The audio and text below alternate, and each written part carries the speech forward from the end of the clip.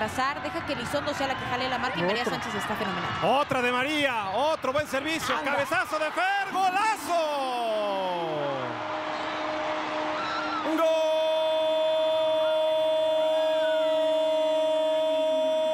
¡Gol!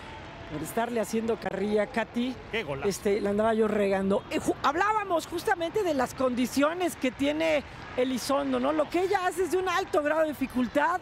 Se frena, se va al contrapié, se avienta hacia atrás, se sostiene en el aire desde ahí con toda la fuerza.